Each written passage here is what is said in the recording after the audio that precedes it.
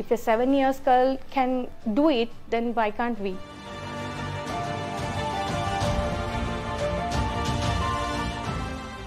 Thyroid cancer, that too especially papillary carcinoma thyroid, which is nearly 100% curable. I would say about 95% of these patients live on to 25 years without any trouble.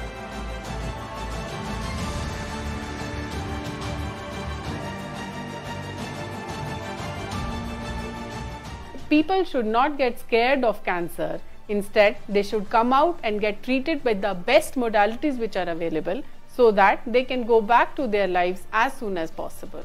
anyone who feels who listens to the word surgery obviously will feel there's a cut on your body but i think the big difference in this surgery is through robot which there's no cut and there's no scar in your body and they just do some four insertions and they make it so comfortable and run through your skin and make it very easy a painless surgery. Uh, anyone who wants to have a uh, scarless or a painless surgery I, I would not say complete painless but yeah with a less amount of pain and with a great results better than the other surgery i think this is fantastic surgery to have and you have a group of magicians here to do it